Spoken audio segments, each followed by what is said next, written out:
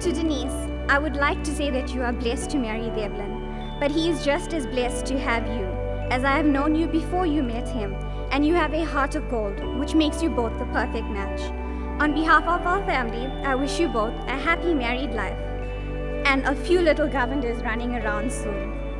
I would like to end off by saying, marriage is like a flower Keep it fed and watered so it can blossom and glow. Thank you. Growing up hasn't always been easy. We have laughed, we have cried, we have lost and recovered, but, but most of all, we have loved. I cherish the moments that we love, that we have laughed uncontrollably, and appreciate when you have held my hands through the greatest storms. Today, I wish you God's choicest blessings as you start your new chapter.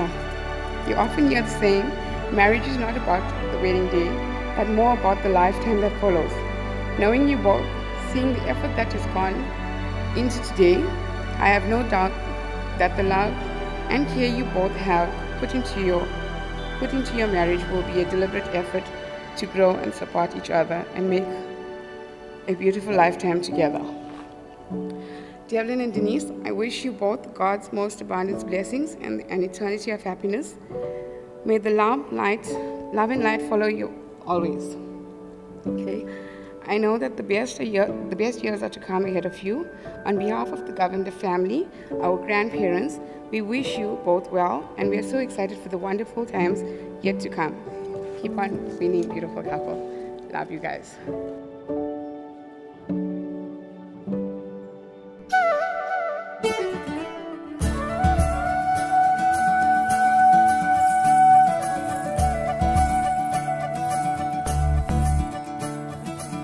మురదాన Mukunda? సరిదాన సనందా?